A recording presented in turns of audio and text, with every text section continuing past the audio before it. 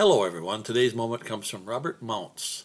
Even death holds no terror because he is the living one who has conquered death and holds it in his power. Thank you, and may God bless your day.